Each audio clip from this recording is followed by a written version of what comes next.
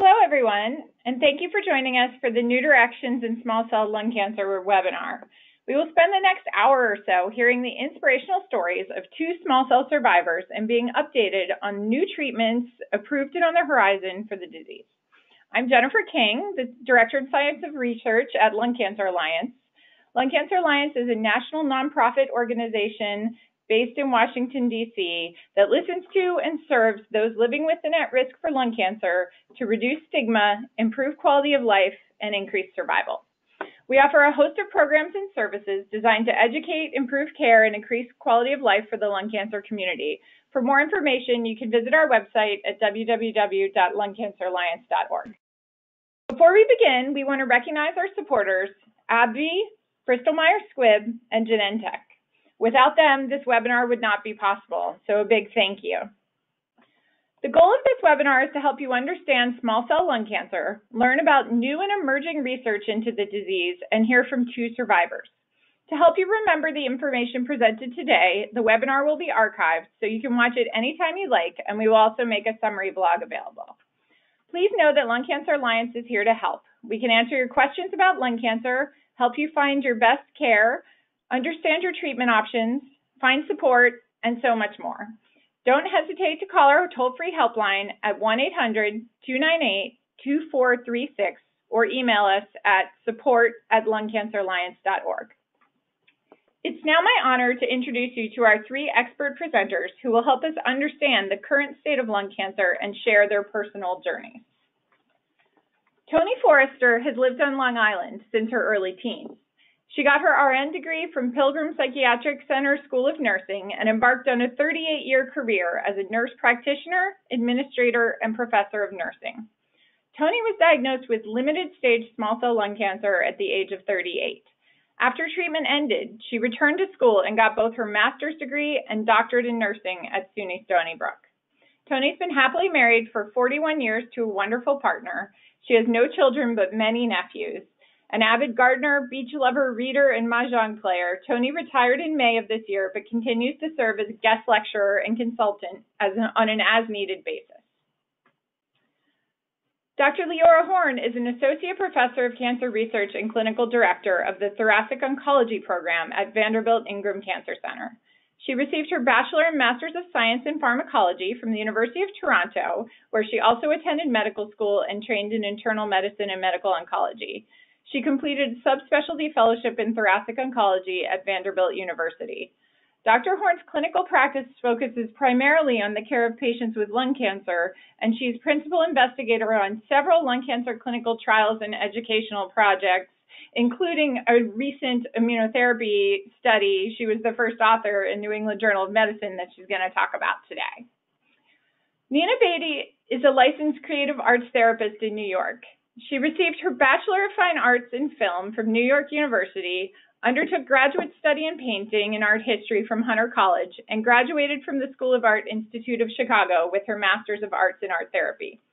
Throughout her career, Nina has focused on helping those with medical challenges and has worked with a wide range of populations.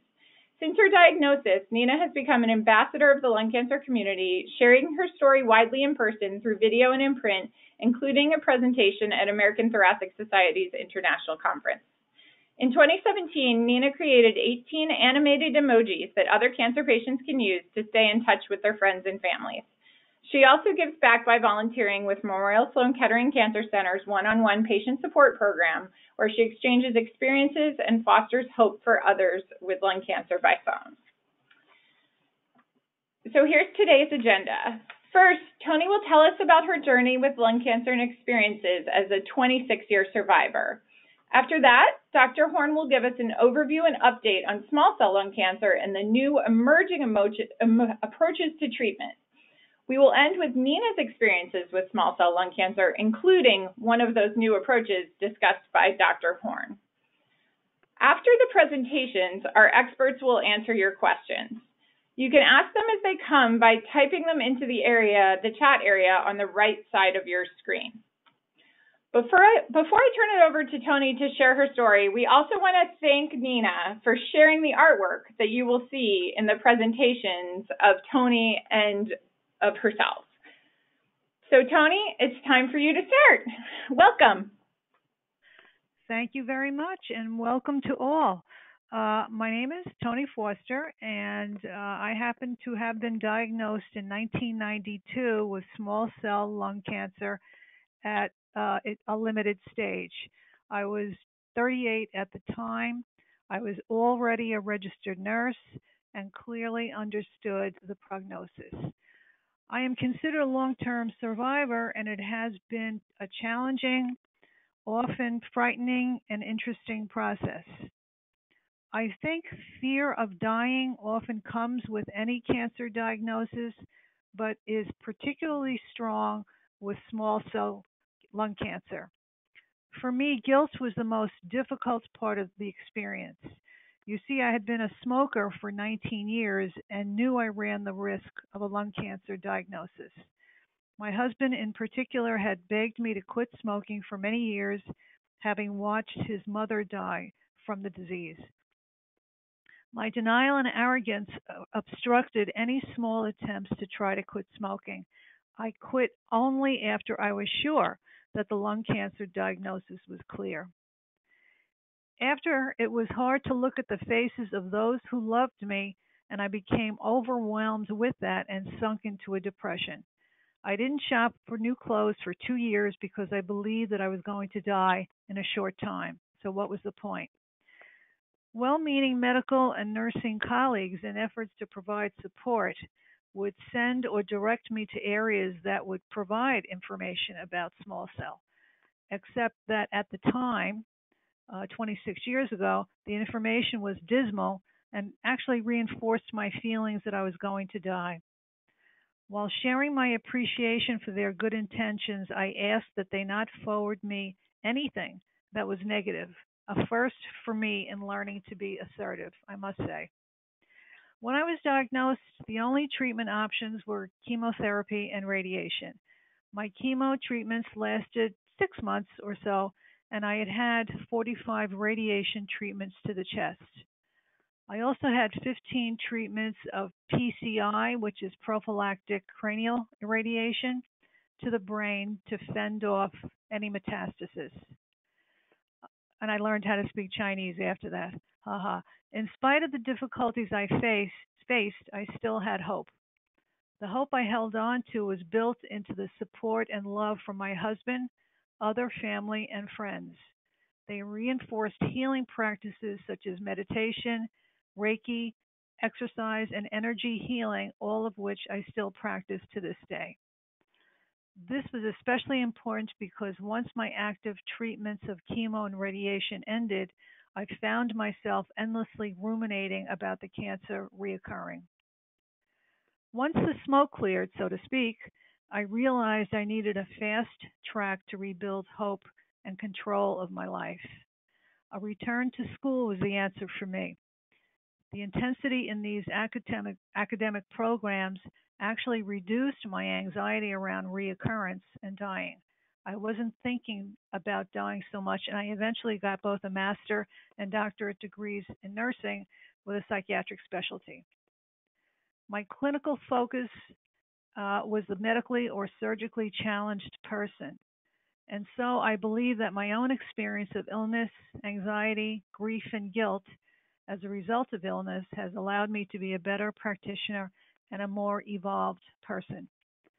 In addition, I've been nicely connected to the Lung Cancer Alliance since its inception, volunteering as a phone buddy, which I have found to be very gratifying. I have been luckily cancer free since 1992. However, sadly, the stigma remains. To this day, when I share my diagnosis, which I often do not, uh, because I am asked uh, frequently if I smoked. I see the judgment in uh, their eyes, mostly unspoken, but at times more direct, saying, Really, you should have known better, Toni, as if I didn't know this. As a community, we need to work more to educate society about lung cancer to eliminate the stigma survivors often ex- experience. Recent compelling lung cancer screening programs have been terrific for people at risk for this disease as well as providing a screening feature as in other cancers. there are more new treatments for non small lung cancer than ever before, and a new treatment for small cell was recently approved. Dr. Horn will now help us understand advances in small cell research, happily, and emerging treatments. Today, lung cancer, the cancer that had been marginalized, is finally being researched, screened, and treated more like other cancers, and that is good for all of us. As my Italian mother would say, hey, who's better than you? Nobody. Anyway, that's my story, and so, Dr. Horn, take it away. Thank you. So, um, I want to thank you for your story, and um, I'm going to talk about some of the new treatments and um, uh, progress that we've made um, in lung cancer. And I just lost my screen. Okay, we're fixing that. Hold on. Okay.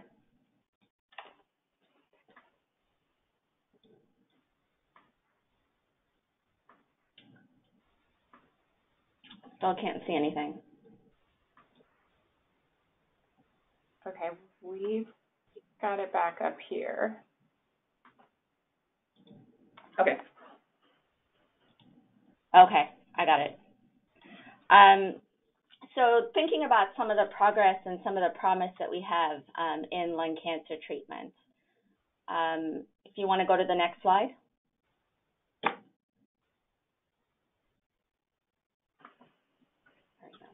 So when we think of lung cancer, there are multiple different subtypes of lung cancer. There's non-small cell lung cancer, and there's small cell lung cancer. And non-small cell lung cancer is seen in about 85% of lung cancer patients, and we think about it as squamous and non-squamous.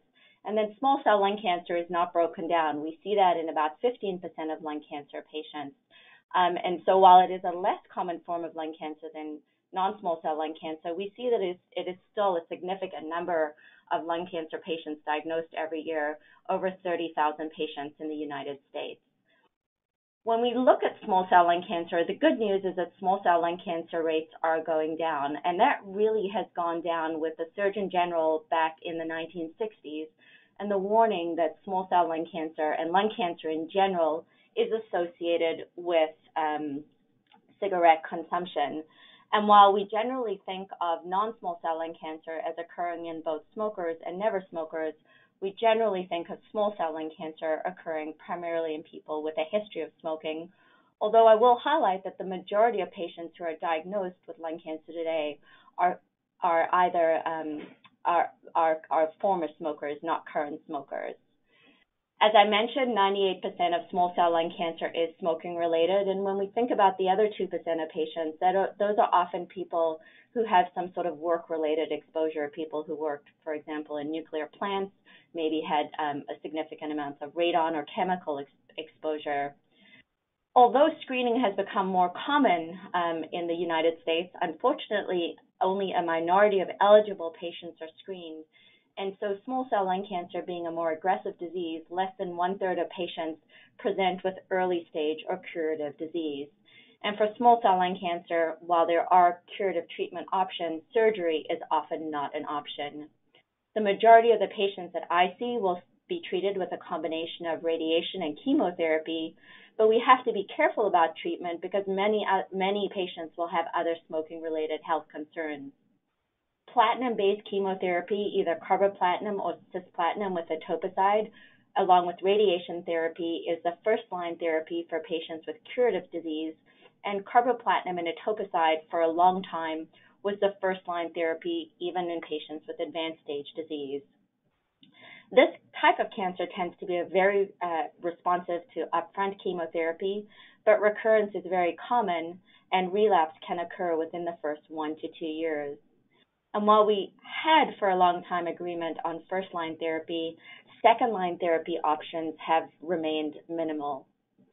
This is just a diagram showing us the staging of small cell lung cancer when you talk to cancer patients, they'll often talk about their stage of disease being stage one, two, or three. And for a long time, small cell lung cancer was staged as limited stage disease, which correlated with stage one, two, and three cancer, cancer that was treatable and curable within a single radiation port.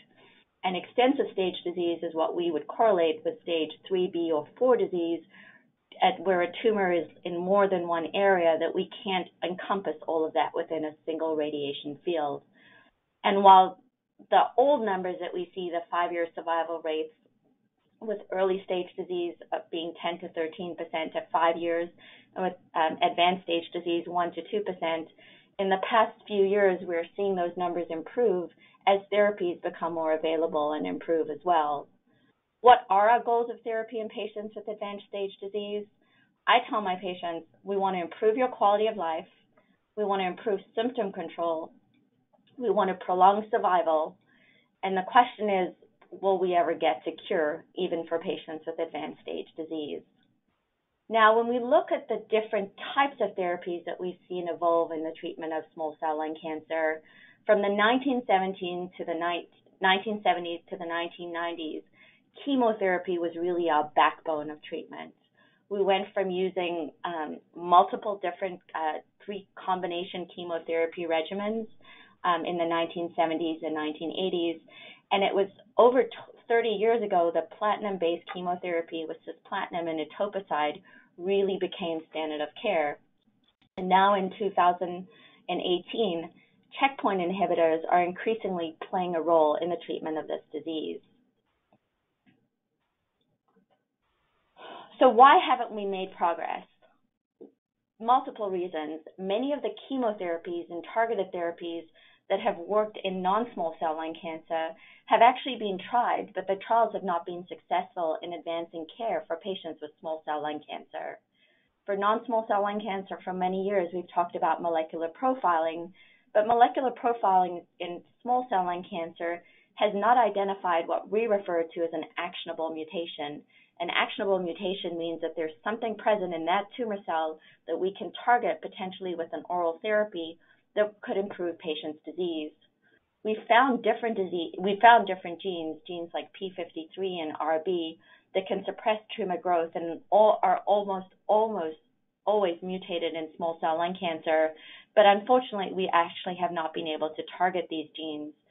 And in, increasingly in lung cancer, we talk about biomarkers so that we can predict who will benefit for the new next line of therapy that we discover but we don't have great reliable biomarkers in small cell lung cancer at this time. Now, we hear a lot about immunotherapy. You see commercials on TV for immunotherapy. You go on websites and you hear about immunotherapy. So, really, what is immunotherapy in lung cancer? When we think about cancers, we know that cancers can express something called antigens. Now, antigens aren't unique to cancer cells.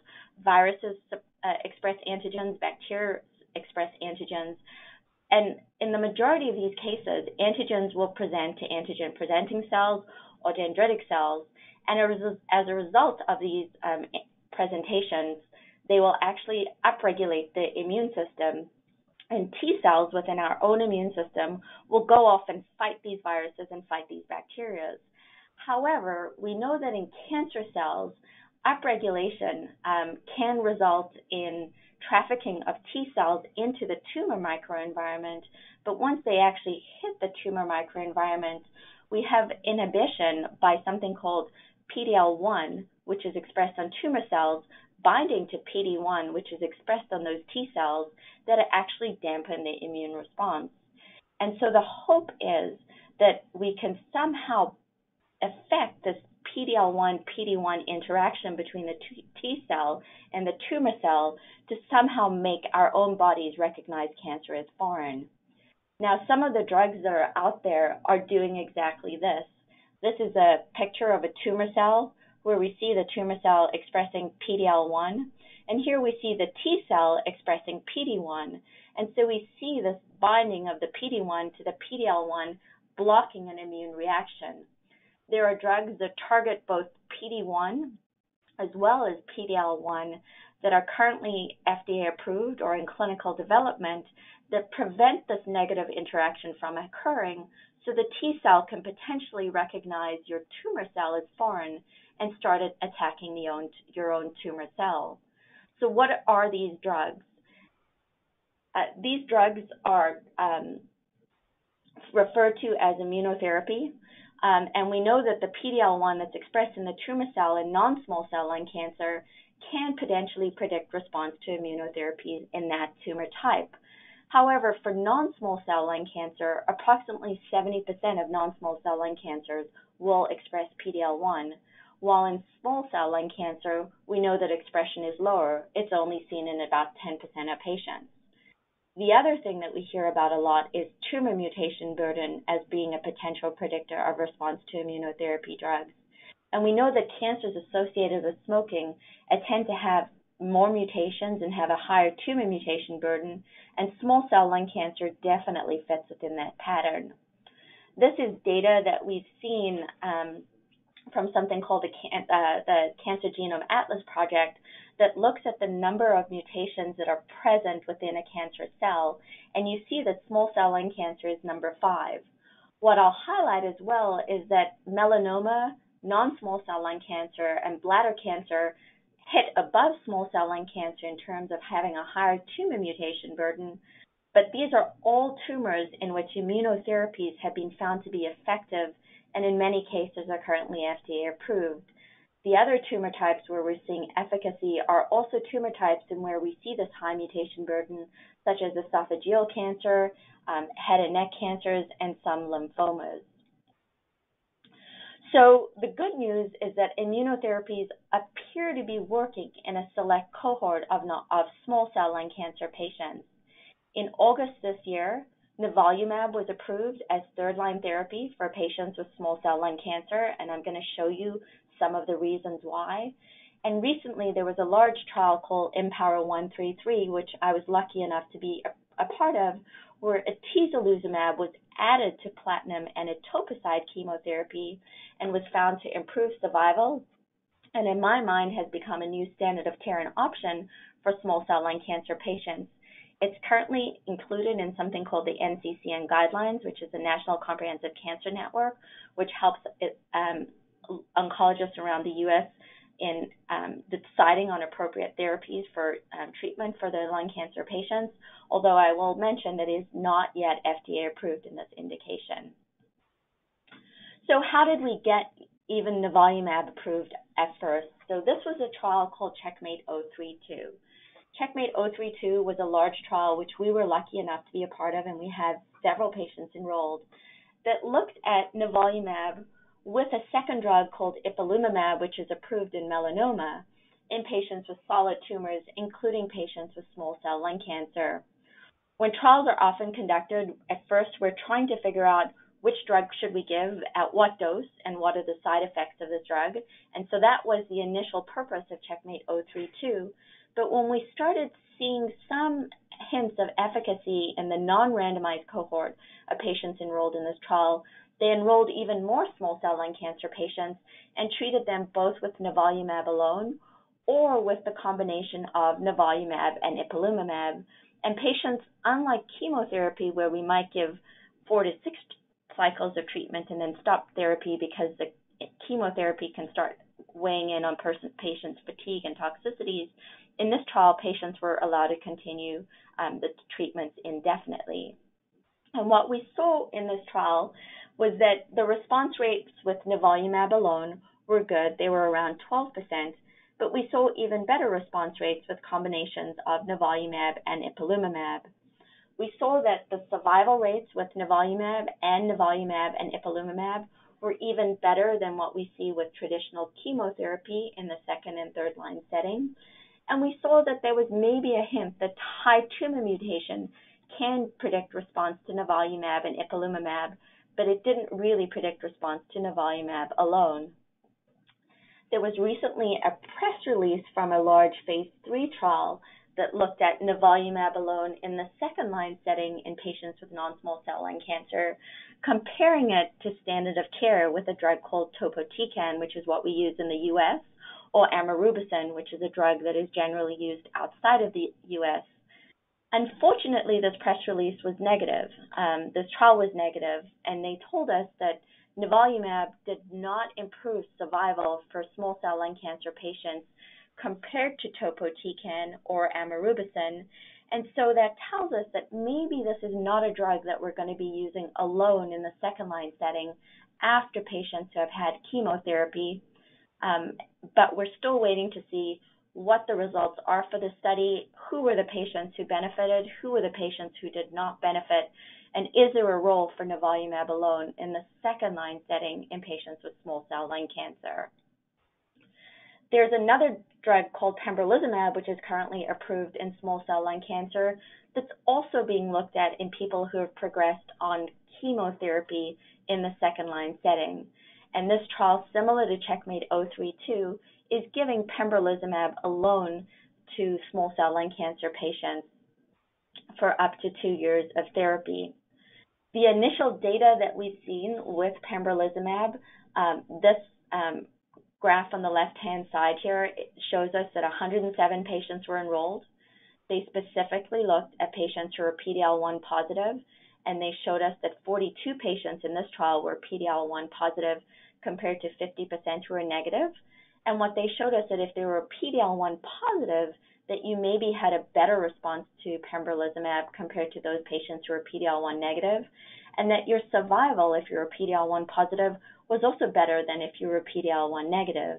Now, the trial I mentioned before, Checkmate 331, enrolled patients regardless of PD-L1 status. And so maybe it's patients in the second line setting who are PD-L1 positive or a group of patients who are going to benefit from therapy with immunotherapy alone. But we'll have to wait until we have more data with pembrolizumab, and we'll also have to wait until we see more data from Checkmate 331. Now, one of the things that we often think about in oncologists is that's great that we have the backup plan if chemotherapy doesn't work, but what could we do up front when patients first get diagnosed that we could potentially improve their survival? And that's where IMpower133 comes in. This was a global phase three trial that allowed patients with a newly diagnosed stage four small cell lung cancer, extensive stage small cell lung cancer, to be enrolled on study. Now, up to now, the standard of care would have been carboplatin and etoposide, and that's why one arm of the study, so half the patients who were enrolled in the study, got carboplatin and etoposide by itself. And then the other patients in the study were enrolled in what we would refer to as the experimental arm, where they got carboplatin, etoposide, and atezolizumab for four cycles, and then were continued on atezolizumab alone, while the patients who were on standard of care continued on placebo alone. The goal of this study, because it was a phase three trial, was to improve overall survival. My goal as an oncologist in my patients is not only to improve their response, to improve how their progression or how long they're on that first line therapy, but again, to improve the chances of overall survival what we saw is the patients who were enrolled in the study were the patients that we expect to see with small cell lung cancer. The median age of the patients enrolled was 64, a little bit younger than the average cancer um, diagnosis, which is 72 in the US for non small cell lung cancer. Although I will highlight, often for clinical trials, we will see a slightly younger patient population involved, enrolled. We can see that the majority of the patients um, that majority of patients enrolled were smokers, and um, more than half of the patients enrolled were former smokers, so people who quit smoking more than a year ago. When we talk about the patient's ECOG performance status, that just refers to how healthy the patients were when they were enrolled in the study. A patient who has a performance status of zero is able to do everything with no limitations. A patient who has a performance status of one is maybe a little bit limited and can do light housework, but is not able to do everything that they would normally do, which is a common um, thing we find in patients with a lung cancer diagnosis.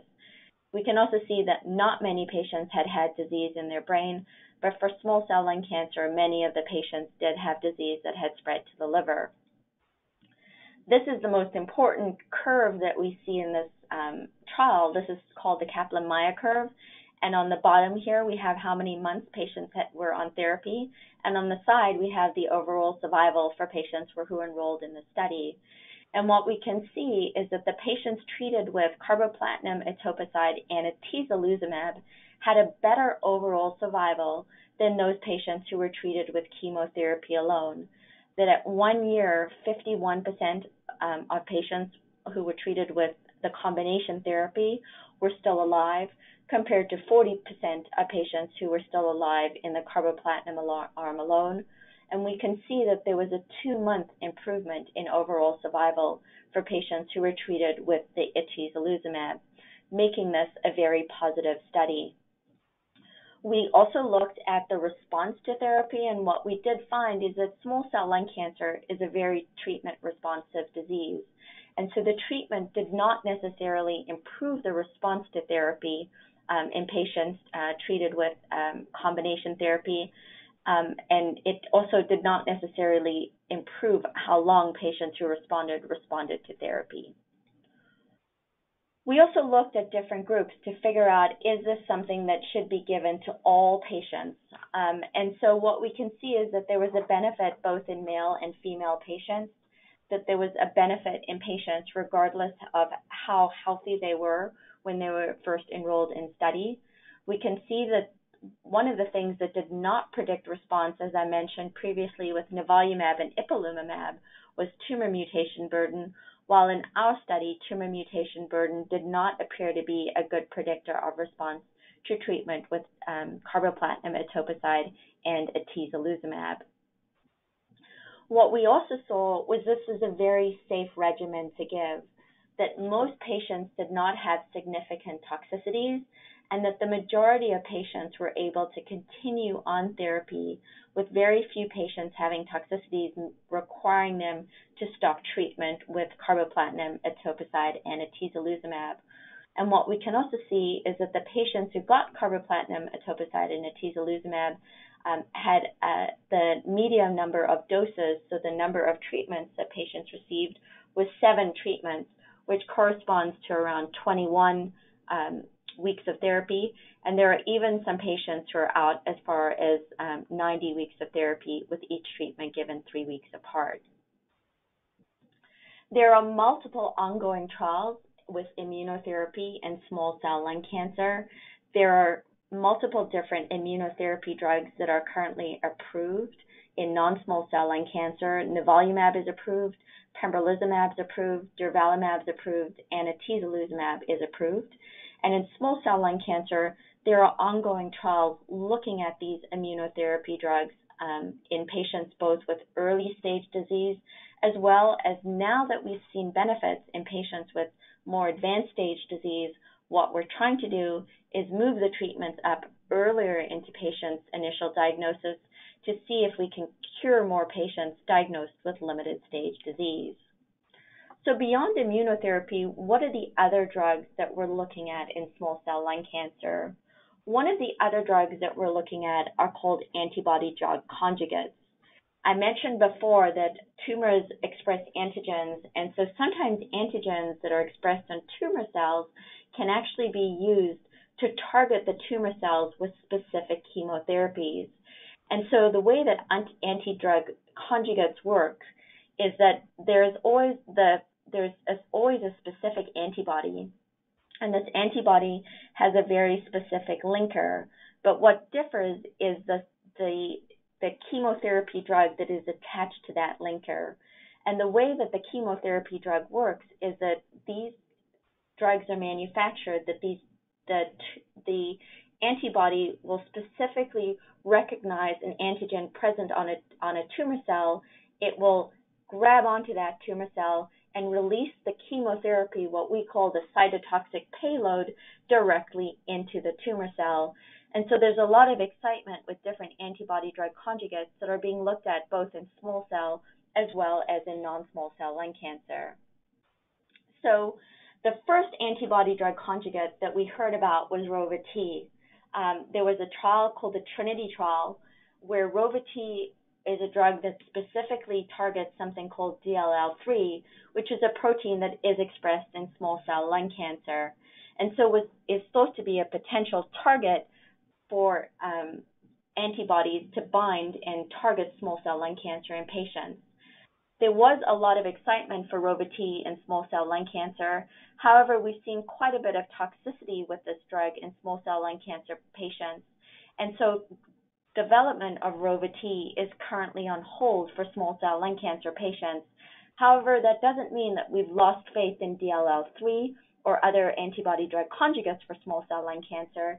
And there are ongoing trials with AMG 757, which also targets DLL3 in patients with small cell lung cancer, as well as AMG 119, which has a different target on small cell lung cancer. But again, these drugs are being looked at in small cell lung cancer. There are multiple trials um, that you can find for patients with small cell lung cancer.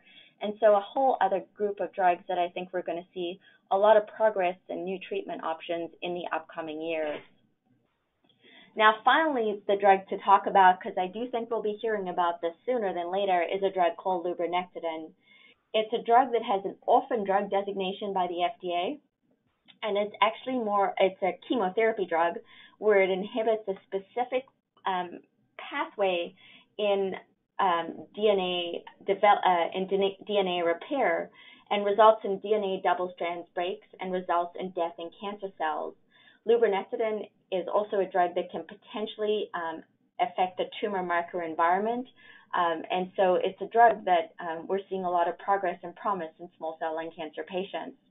The promise has come out from a clinical trial where we're looking at um, alone, but we've also seen data with lurbinectedin in combination with um, uh, doxycycline um, and docetaxel, for, as well as paclitaxel for patients with small cell lung cancer. This is the response rates that we've seen to date that have been um, presented.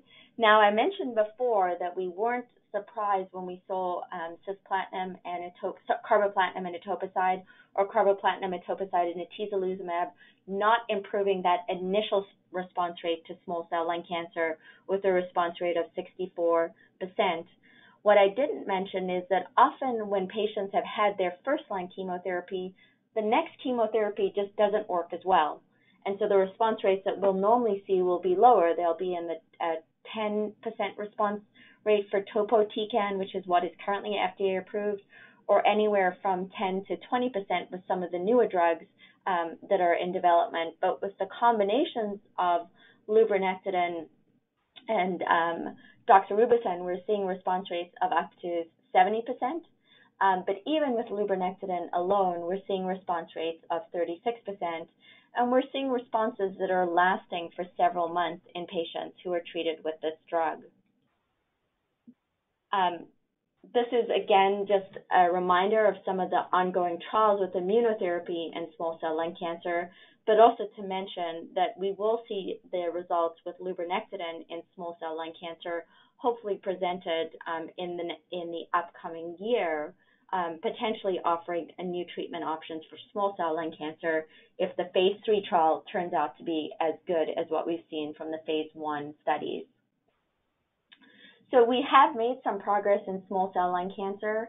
We know that with immunotherapy, PD-L1 expression is a bit lower in small cell lung cancer compared to non-small cell lung cancer. We know that single agent activity with immune checkpoint inhibitors is lower in small cell lung cancer compared to non-small cell lung cancer. But we finally made progress that the atezolizumab with chemotherapy is better than chemotherapy alone, particularly in patients with advanced stage disease. The antibody drug conjugates have shown activity in small cell lung cancer. We're figuring out some of the toxicity issues because quality of life is an important part of care. And there are ongoing phase one trials in patients um, with tumors that express DLL3 and specific other targets. We know that lurbinectedin has shown promise in the second line treatment in studies um, ongoing comparing it to standard of care and hopefully we'll see some of those results in the upcoming year. We still need better biomarkers um, to help us figure out who we should give what therapy to and who will benefit from these new treatments. But with ongoing research and a resurgence in interest in small cell lung cancer, I think that we're going, we're definitely going to get there um, in the um, upcoming years. I'd now like to hand over um, to Nina, who's going to talk to us about her small cell lung cancer. Oh. Hi, everybody. Um, That was really great, Dr. Horn. Um, you really spoke about really my the medical side of my story, which is very positive for everybody. So I'm going to start now. Um, I'm Nina Beatty, and I've been invited to talk to you today um, about my experience of small cell lung cancer. I'm about to turn 65 this December, which I'm lucky enough now to celebrate. Um, until I got small cell lung cancer, I'd been healthy. I was minding my own business being an art therapist in a small town outside of New York City. I saw clients, texted with my daughter who lived in Chicago. I did Pilates. I cooked homemade soups to share with other single friends. And I was not smoking cigarettes because I'd given up my pack and a half day habit when I was 30. So I had no symptoms. How on earth did I find out that I had cancer? Well, thanks to my mother, is how. In January of 2014, I visited my mother, who had been diagnosed with lung cancer a decade before, but now wasn't doing so well. That day, her radiologist popped by for a visit, and based on my history, she suggested I too get a low dose CT scan. And something told me to go get that scan. Good thing I did because that's how I was diagnosed with small cell lung cancer. Although it was caught early, my oncologist warned me about using the internet to research my cancer. He said one problem is that many sites aren't updated with the newest treatments that might be available. And that's why you all are fortunate to have the latest updates from Dr. Horn today. But when I was diagnosed, immuno, back in 2014, um, immunotherapy wasn't a first line treatment for uh, option for small cell. The standard protocol was chemotherapy and radiation, and uh, Dr. Horn mentioned cisplatin and those guys. And even with treatment, survival rates were low. No matter how encouraging my family members were, ah, you're going to survive this, Nina someone has to be the outlier and we know it's going to be you. I secretly felt doomed. I knew I had to get the best treatment I could find and get it fast. Um, I went through chemo and radiation and then prophylactic whole brain radiation or irradiation. A side effect of my chemo experience was hearing loss, and I've had to wear hearing aids ever since. I didn't let it bother me. I mean, I was still alive, wasn't I? Um, the radiation didn't hurt, although the skin on my chest looked as raw as roast beef for some time afterwards. The prophylactic radiation in my brain didn't hurt at all either. But deciding if I should try to, if I could go get it, if I should get it to prevent the cancer was going um, from the cancer going to my brain was the, the most difficult decision I had to make about my treatment. I can't even talk about it. That's how bad it was, but um, I did get through it. Um, it uh, so about six months later, a second tumor showed up in my abdomen. The cancer hadn't metastasized all over my body, but it's definitely on the move. Still, the doctors remained positive about my situation and suggested I enroll in a clinical trial. They contacted a local hospital known for doing excellent research and running many clinical trials to see if there was one for a small cell lung cancer patient like me. I was lucky again. There was one slot left in an immunotherapy trial using nivolumab, or its brand name, Opdivo. The infusion was to be for an hour, once every two weeks, and wasn't so bad, really. The decision to enter the immunotherapy clinical trial was easy. I knew my hospital was on the forefront of cancer treatments, and I did not hesitate for one minute about joining the trial. I wasn't scared. I read the paperwork on the potential harms of immunotherapy, but frankly, I hardly took it in because I knew I had to try something new to halt my cancer or else I'd die. The goal is to do something find a trial or get access to a drug that might help you fight off your lung cancer. This is the area where LCA excels, so use their support resources as often as you need to, because that's what LCA is for. I stayed on Opdivo because it seemed to stop my tumors from growing from the moment I started using it, and I only had minor side effects. My thyroid levels went down, so I have had to take a low dose of Synthroid, and I've had skin irritations that can only be soothed by a special lotion. Mainly though, it was an experience of one high five after another between me and my oncology team members as we watched the tumors shrink. A few months ago, when I began having some GI problems, my oncologist decided it was time for me to stop the immunotherapy. The cancer had not shown up as active in the CT scans for several years. So in the span of four years, I had gone from being someone with metastasized small cell lung cancer to being an NED, no evidence of disease. How unbelievable is that? How could I be so lucky to be born during a time when drugs such as this were invented? I felt how I imagine peace, people must have felt when the polio vaccine came out. There had been little hope, and then wham, suddenly there is hope. Okay, um, is it, sorry, uh, let's see. Okay, so, um, now, here are five, hopefully, helpful tips. Um, if you're a type A and you need to be in control all the time, having a fast moving cancer like small cell lung cancer is not going to allow you much time to gather all the data you probably feel you need to make to consider what you would consider would be your best decision. And I say to you, um, you're going to have to trust yourself that you are making the best decision you can with the information you have at the time. Sometimes you are being asked to take a leap of faith. That's just the way it is. Um, another one. I didn't cry at all about having cancer, not once until it was over. Because to get through it, I had to numb myself from my from any feelings of fear and despair. You may have a totally different response. Cry, make sarcastic jokes, whatever it is, be kind to yourself. Don't beat yourself up or let others judge you for how you're reacting. It's your cancer, not theirs. In the lung cancer support group I attended, we traded stories about the stupid, insensitive things people would say or do in front of us. I just tried to let it blow by me, telling myself they don't have cancer, so they just don't know better, or they would be more understanding. Cancer can be a lonely, scary business though. If you're up for a support group or need any kind of support, be it mental, physical, or spiritual, I say go for it.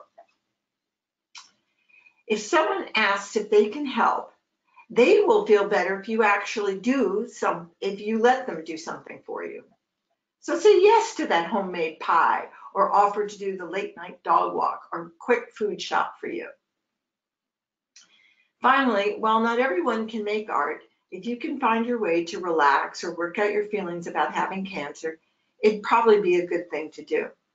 To sort out my feelings, I drew cartoons depicting the ironies and inconsistencies of trying to shoot for surviving a cancer with such low odds. Those cartoons ended up becoming the EmPat project Jennifer had mentioned. The idea came to me while I was stuck in the treatment chair for hours getting my initial chemotherapy. I was bored and texting friends to update them on how I was doing but the preloaded emojis on my phone seemed devoid of feelings and of real expression. For example, a round yellow emoji with a faucet of tears running down its face could not express the sad, quiet despair I was feeling about my illness.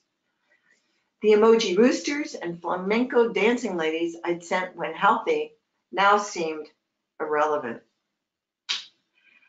I wasn't confident I could design emojis, but having received a Bachelor of Fine Arts in Film with a major in animation and a master's in art therapy, this was my skill set, cartooning coupled with self-expression. And to keep myself positive and entertained, I had already begun drawing those cartoons about the ups and downs of dealing with cancer. I found wonderful people to help turn my cartoon sketches into a set of animated emojis. My characters, Em and Pat, and the situations they find themselves in are 100% based on my own experience as a cancer patient and the result of asking others a simple question. What emoji would you want to see be made that would directly speak about your experience with cancer? From that, I compiled a list of feelings ranging from gratitude to sadness, fear and anxiety to hopefulness and joy, all of which you see in the impact animated emojis. From the beginning, I always thought of this as a legacy project, a contribution of something hopeful I could leave in the world. Taking on this project had a positive effect on me. It kept me focused and engaged on something other than thinking of myself solely as a cancer person. Of course, the impact emojis are about having cancer, but in this case, I could do something about the cancer. I could talk about it, inquire with others about it, reveal what's odd and unique about it, and be thankful I could find the humor in it to keep me going. I'm a changed person after going through five years of dealing with small cell lung cancer. These days, I'm much calmer and more loving because of having so close, come so close to death. Early on, I realized it was about learning how to adapt. Now that I've been lucky enough to survive small cell lung cancer, I feel a new urgency to share my story to give others hope that they also have the strength to get through this exceptionally stressful period in their life. It will take a lot of patience and honesty towards yourself, spreading around as many thank yous as you can, and knowing that no matter what happens, you have the choice to move towards the light. Thank you. Jennifer? Thank you so much, Nina, as well as to Toni and to Dr. Horn for providing such good input. Um, Nina, can you mute your line? Can I what? Oh, yes. Mute your line. Sure. Great. So thank you so much for your story, all of your stories, and for all the teachings we've learned today about small cell. We have a few minutes left for questions, but before we do that, we want you to know that you and your loved ones can download the EmPat emojis that Nina was just talking about from your favorite app store. Um, everyone can continue to ask questions in the question box for the last few minutes. Um, but we will start, and if you have questions after the webinar that you think of, or if we don't get to your question today, you can email us at support at lungcanceralliance.org, and we will respond to your question via email. So the first question that we've gotten, which I think would be great for all of you to weigh in on because there may be different perspectives, is how important is it who your oncologist is during this process?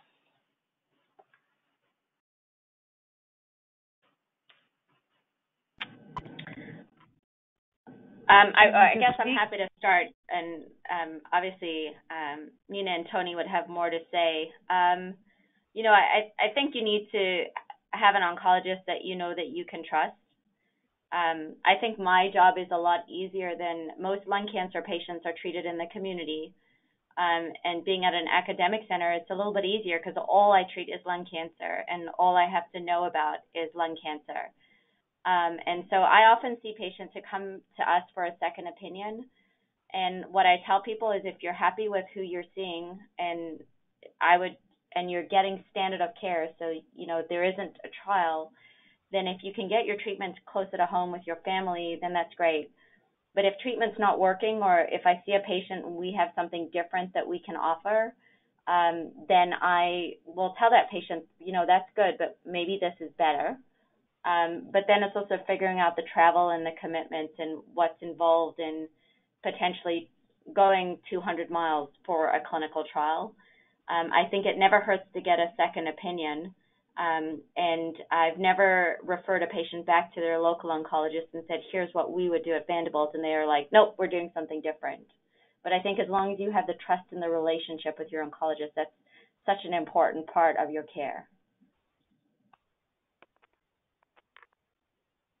Hi, this is Toni.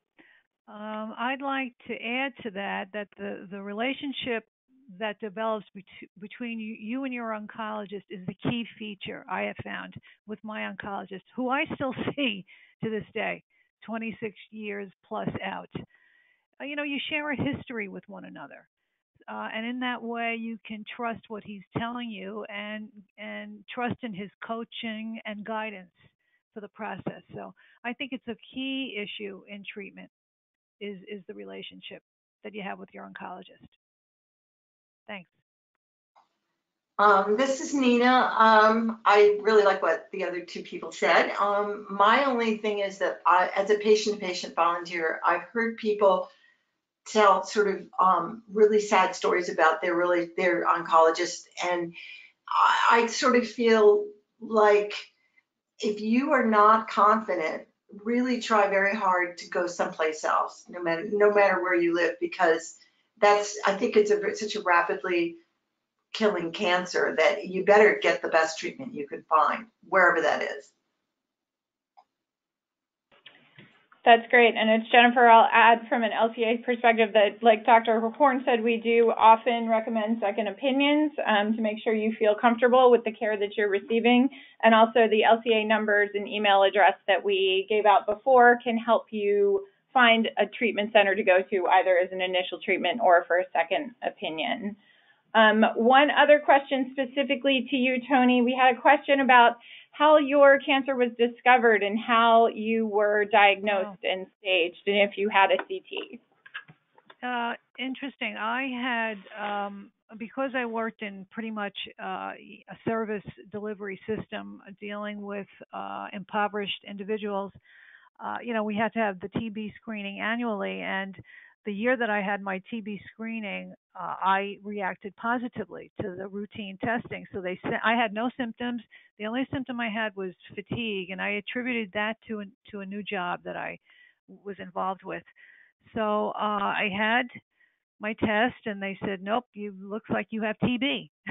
so uh, because they took the scan and all they saw was just uh, you know a, a white uh, flush of stuff going on in my left lung.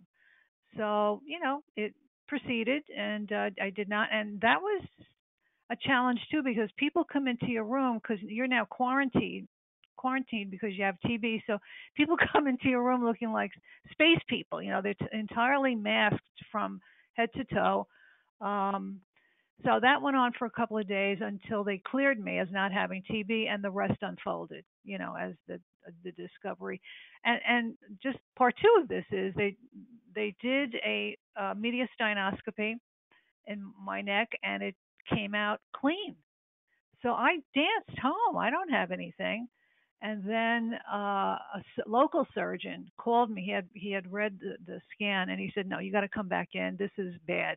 This is a wrong um, final point for you. So I had to go in, have another mediastinoscopy, and that's where it was diagnosed on the second mediastinoscopy. Great. That answers your question. Yeah. Yeah. No, that was great. Thank you. Unfortunately, I think we're out of time for today. As we said, we can um, accept additional questions through the chat box or by email. Thank you so much to all of you for joining us. We hope that the webinar has provided everyone valuable information on new and emerging treatments for small cell lung cancer and that you've been as inspired as I've been by the survivor stories. Um, you will be able to watch this presentation again, as well as to see others in our webinar series. To do that, visit the Lung Cancer Alliance YouTube page under the Videos tab.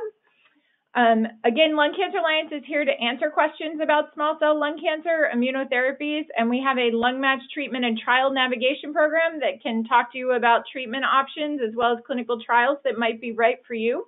We're just a call or email away.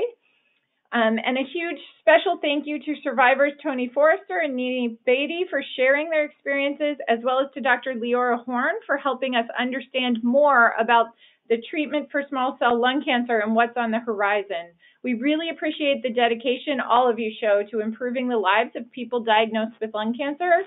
And thank you to everyone who joined us today to learn more about the new advances in lung cancer and hear the stories of our two survivors. Thank you very much. Thank you. Thanks.